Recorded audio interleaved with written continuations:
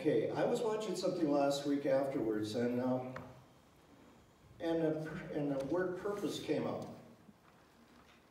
Um, and if I was to ask you, what is your purpose?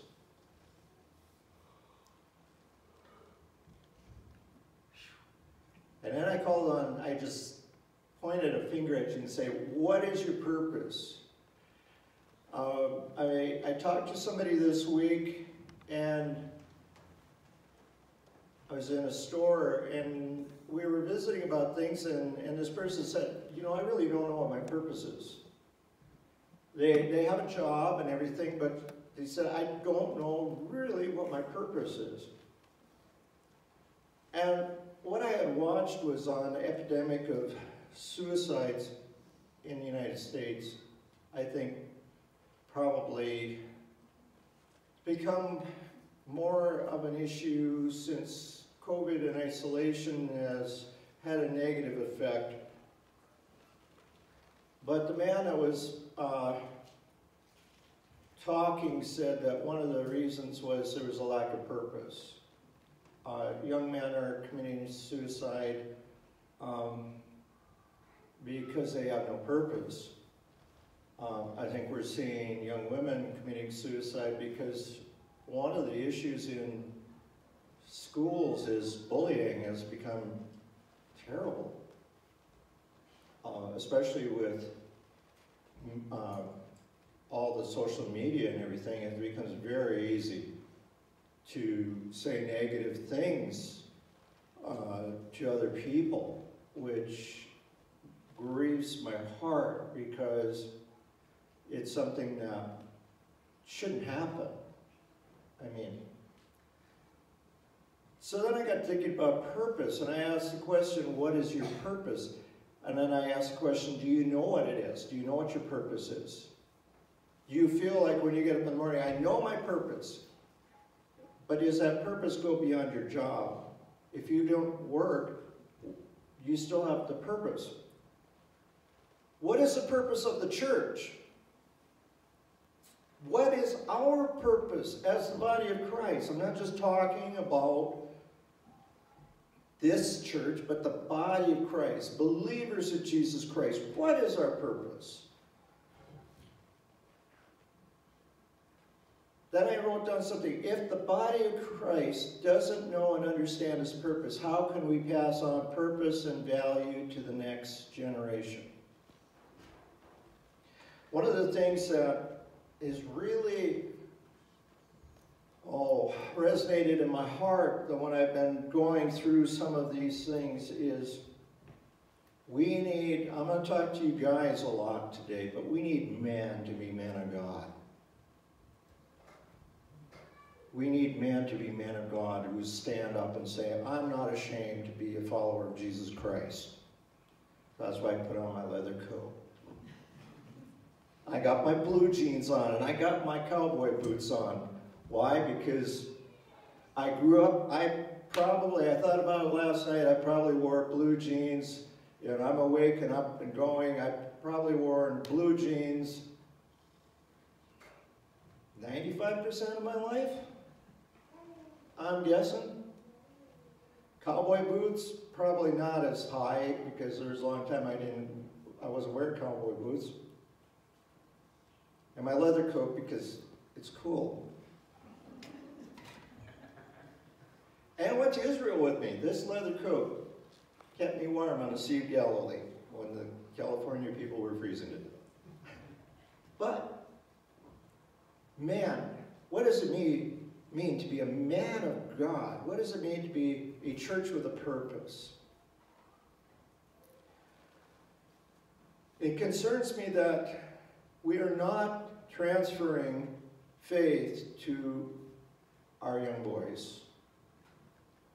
Uh, one of the things that I was blessed with as a man was when I gave my heart back to the Lord and we were living in Bowman, we had a group of guys and I had a best friend named Jim who was a man of God. But in, in everything that happened, it was like I was the one that was going to help him through a rough spot and he, he the, the rewards and the blessings were far greater than anything I ever did.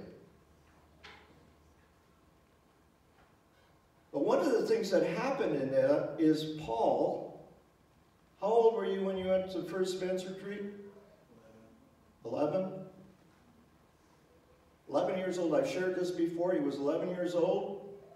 Supposed to be 13, I believe. And our pastor was so awesome, he said, We'll make it happen. And Paul went with a group of us guys, who were probably 10, 12 guys, I'm a, something like that, two men's retreat, and you got to be one of the guys. And I feel it had an impact on his life. My friend Jim had an impact. And somehow we have to get back to that where, as men in the body of Christ, we become men of God and we share that with Brantley, Maverick. I mean, with the boys, we need to be men of God and say, this is how a man of God lives. This is how a man of God treats women. This is how a man of God believes in the times of struggle.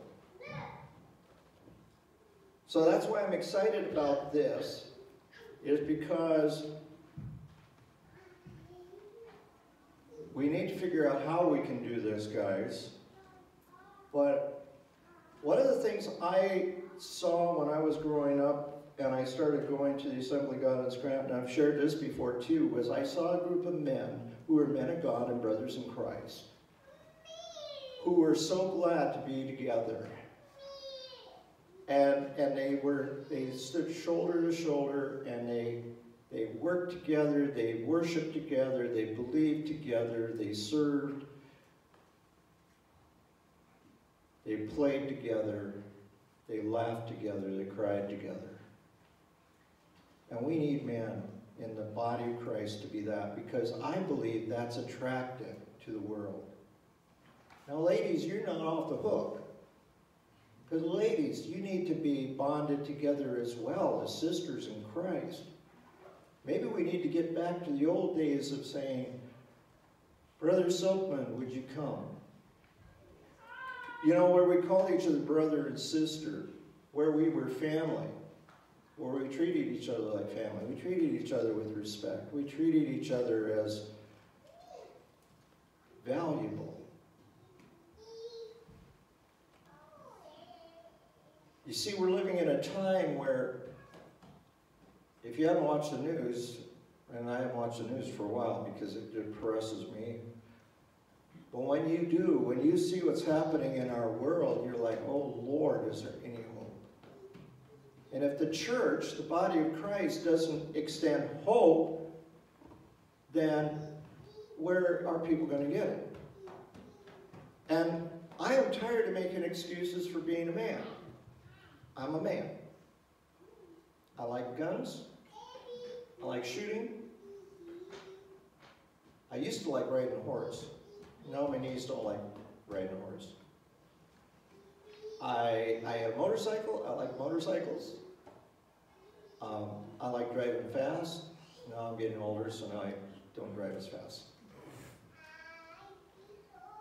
But you know, those aren't things that necessarily make you a man of God. A man of God is a man who is so in love with God and is so willing to stand up and say, you know what, I'm going to make a wall between the enemy and my wife, or the enemy and my children, or the enemy and my grandchildren. Between the enemy and anybody who's attacking my spiritual family. I'm willing to stand in a gap and I'm going to make a wall. And I'm going to stand for what I believe. And if the world doesn't like it, tough. Because I have to. Somebody, we've got to start standing up as men of God and say, the line is drawn here. And you can't cross it double. You can't have my kids.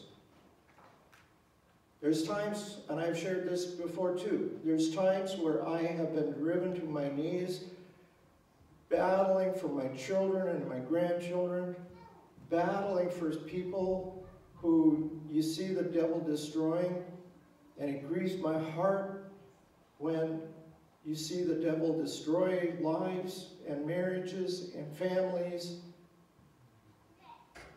And I say, God, there's got to be victory in this. At some point, there's got to be victory. I want to share six points, six reasons why you should trust God. Why you can become not just a mighty man of valor, but you can become a strong woman of God, and we can become a strong unit. Because women, you can battle just as well as men.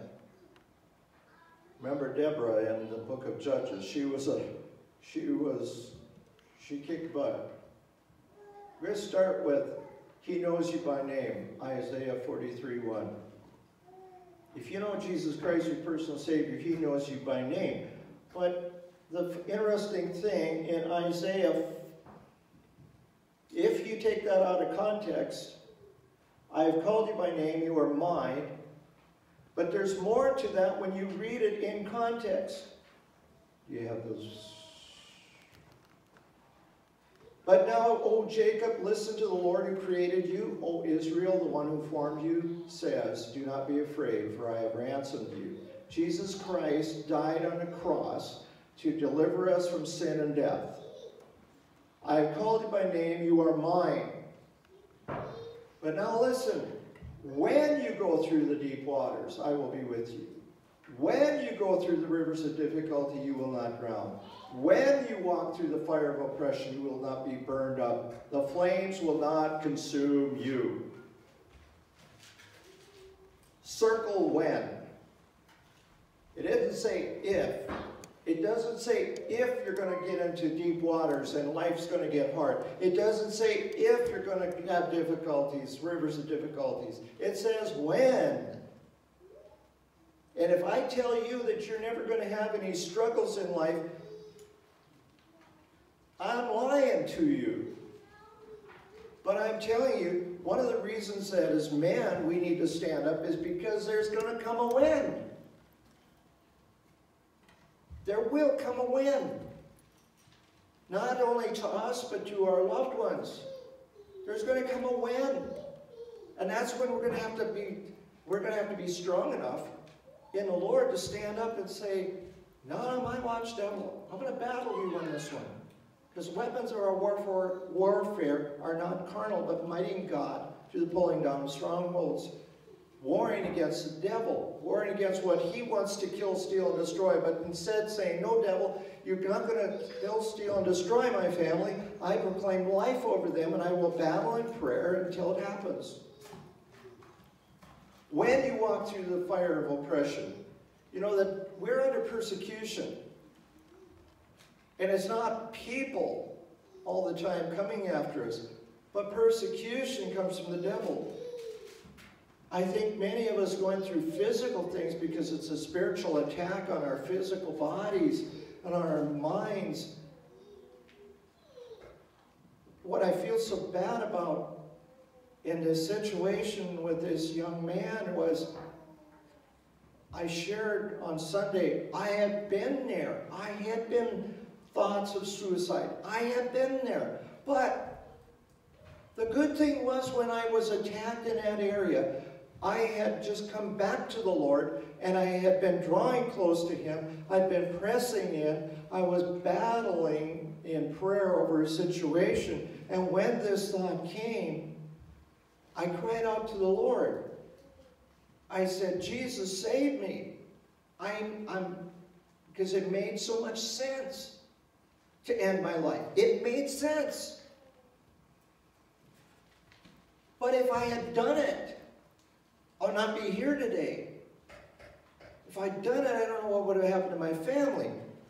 But if, when we're talking about situations where I can understand where the pressure gets so hard that you see no way out, but if you don't know the truth of the Word of God and being able to battle,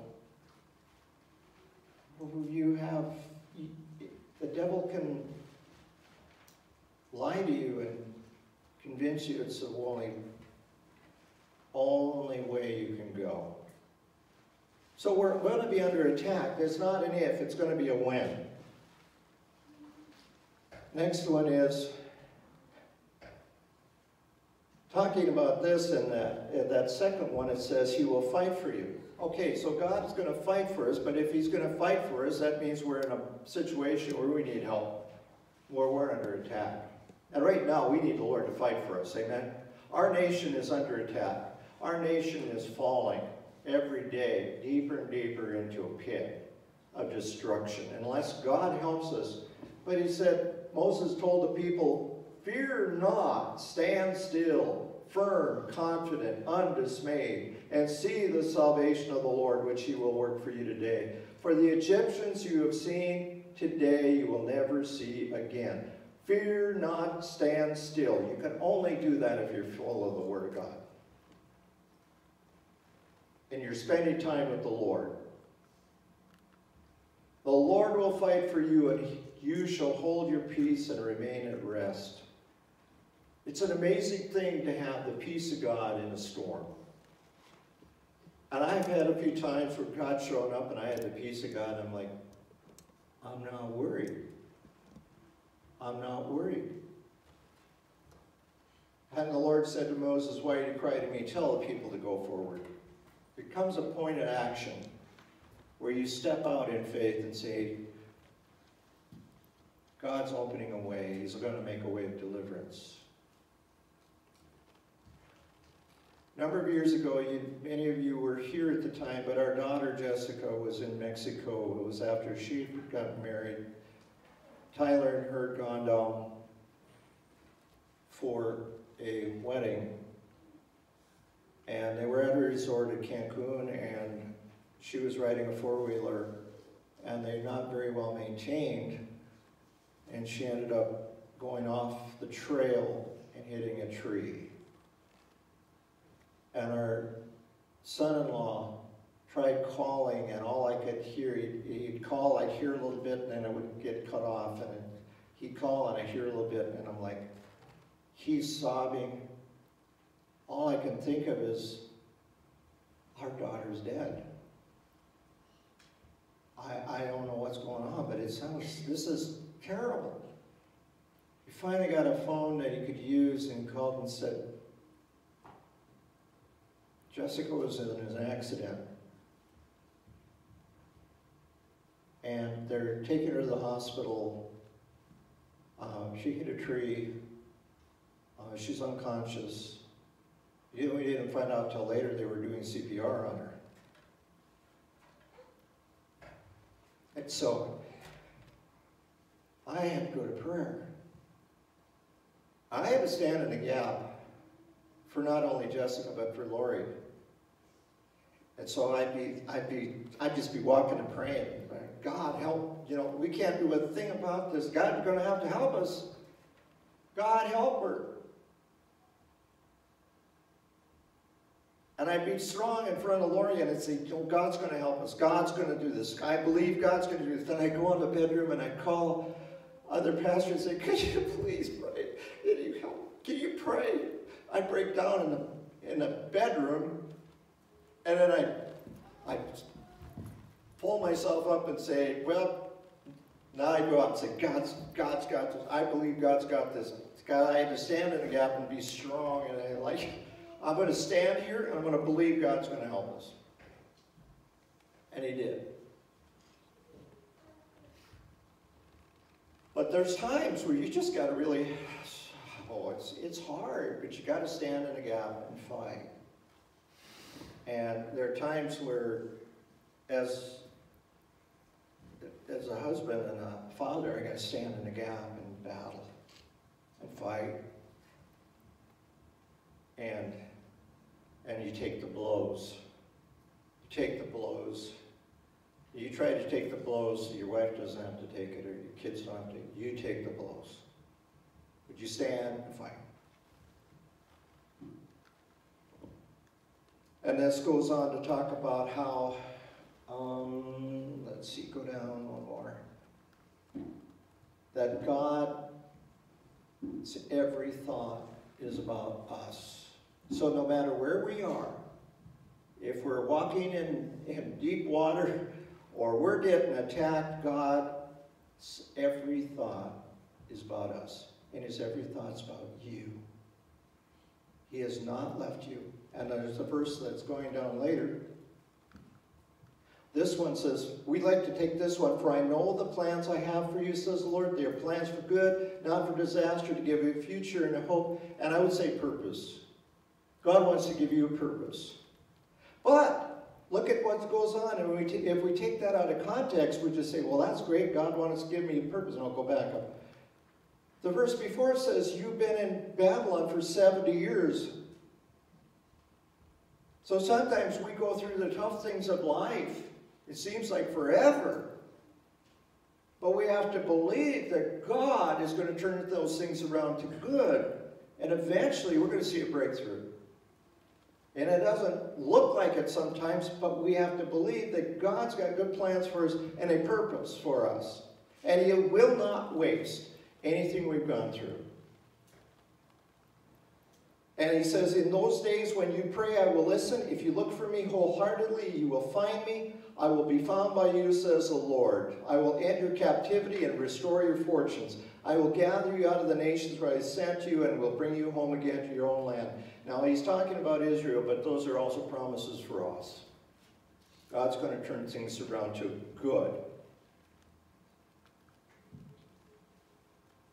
And this set of verses talks about what we sang, that he alone is our place of refuge. He's the one we run to in the middle of those storms. And it's not unmanly to run to God. Man, it's all right not to have the answers. It's all right to be able to run to God and say, God, you're going to have to help me. I don't know what to do. You're my refuge. You're my source. You're my strength. You're my help. Because when we do that, we model to our families what it means to be a follower of Jesus Christ because we run to him. And Jesus said, Be sure of this, I am with you always, even to the end of the age. That's good news. What else you got up there? I want to look just very quickly at Psalm 90. Talks about how let the sunrise of your love end our dark night, break through our clouded dawn again. Only you can satisfy our hearts, our hearts. Fill us with songs of joy to the ends of our days. We've been overwhelmed with grief. Come now and overwhelm us with gladness. Replace our years of trouble with decades of delight. Let us see your miracles again, and let the rising generation see the glorious wonders you're famous for. We have a generation that needs to see the power of God. We have a generation that needs to know what it means to really see God move. Amen? How many of you need God to move in a situation in your life? You got something, and you say, God, I just need your help. We need to see that. Our kids need to see that. Our kids need to, need to hear our testimony about what God did. So that when those things come at them, they could say, you know what, I remember. For me, I could say, I remember when my Aunt Agnes told me testimonies of, her, of God healing my, my uncle. I need to hear, remember the testimonies of when she told me we were going to camp, but we didn't, our, we didn't have any water for our cattle. Our dam had dried up, and we had no source. I mean, we, had, we would have to stay home if there wasn't a, if that dam didn't have water in it. And they prepared to go. And the night before they left, a, a rainstorm came up and filled it.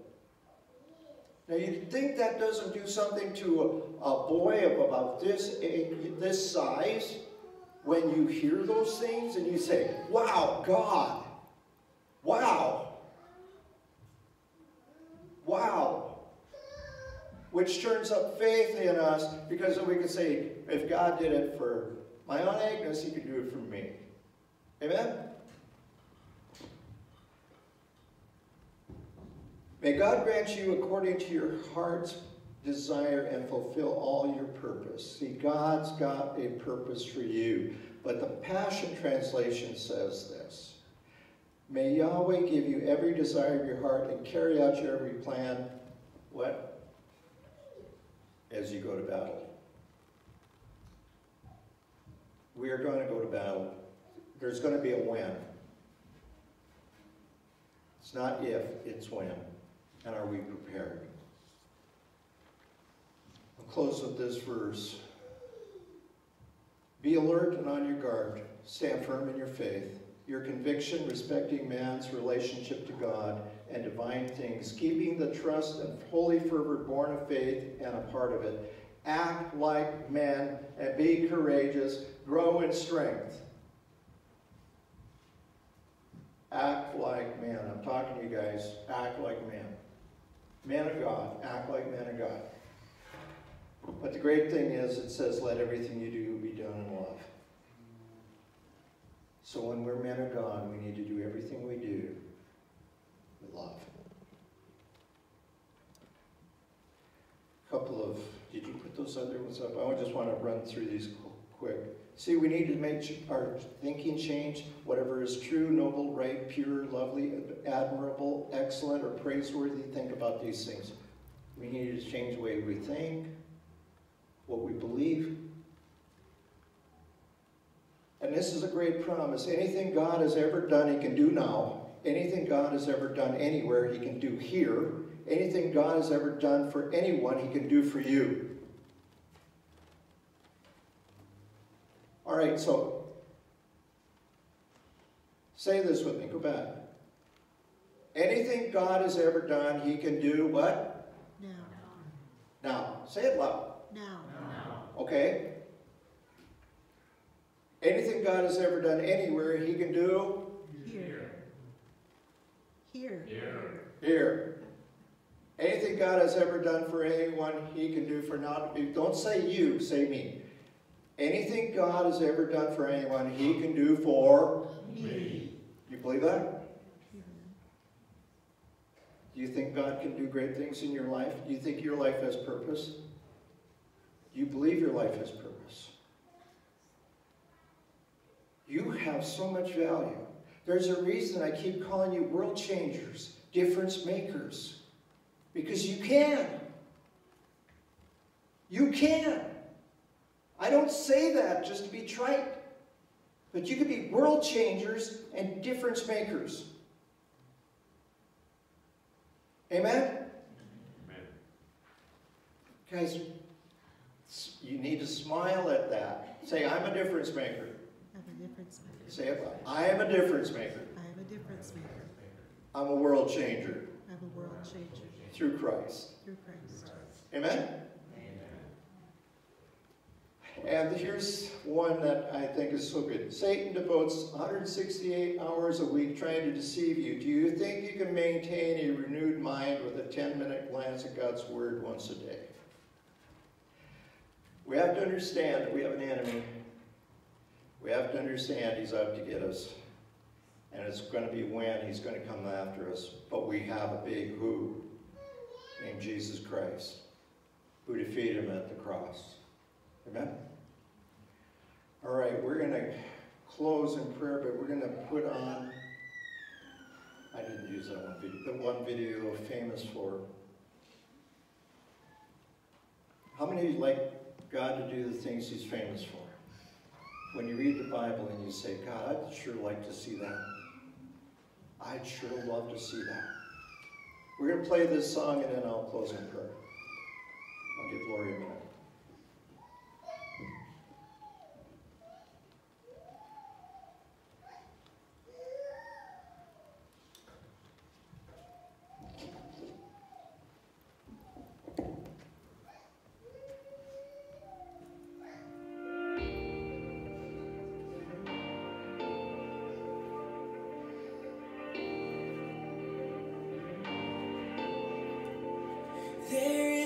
feel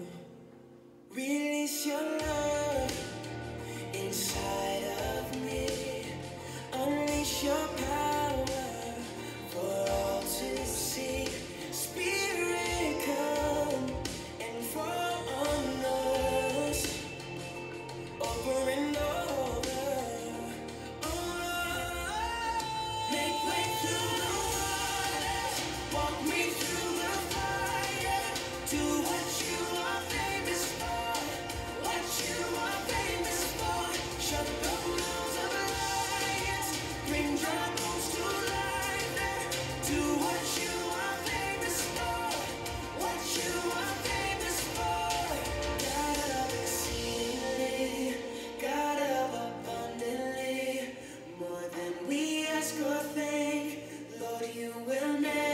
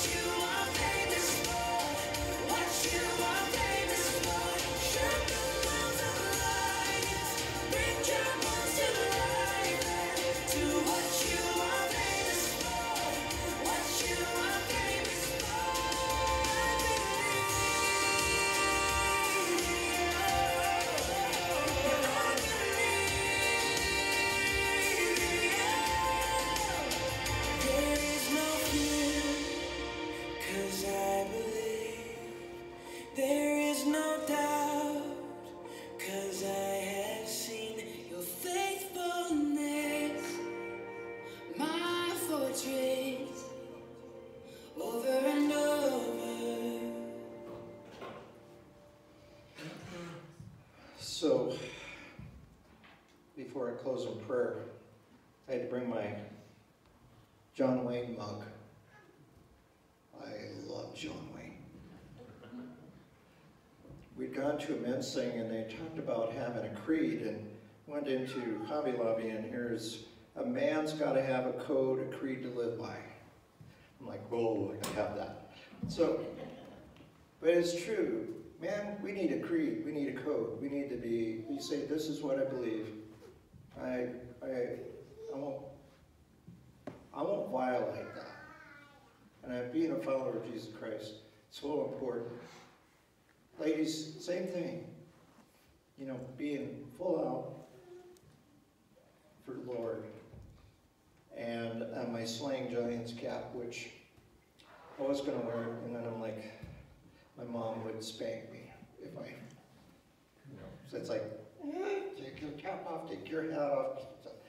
So I've still got that, you know, she's like, take it off. Isn't God good? God is, God's calling us to our place to do great things. Amen. Because I am looking for the opportunities where if there's somebody that's going through this stuff, that this young man went through, I want to get there before the devil destroys. It grieves my heart. What happened? In church, we need to stand up and follow Christ and let our young people see that it's all right. In fact, it's an awesome thing to follow Jesus. All right, well, Lord, in Jesus' name, we praise you and thank you for this day, and we thank you for your goodness and mercy and love, and thank you that you will do the things that you're famous for. There's nothing you can't do. And we give you glory and honor and praise. And we humbly seek your face. And we say, Here we are. We surrender to you. And we ask for you to give us each a glimpse of our purpose, what it is you called us to do, so that when we get up every day, we know that we have a purpose that goes beyond what we do for a living. But the purpose is to glorify you and to be a light to dark places. There where you can reach people and show them how awesome it is to know you. And I just pray blessing over everyone here. I pray that you'll bless our food and our fellowship and let everything be done for your glory. In Jesus' name, amen.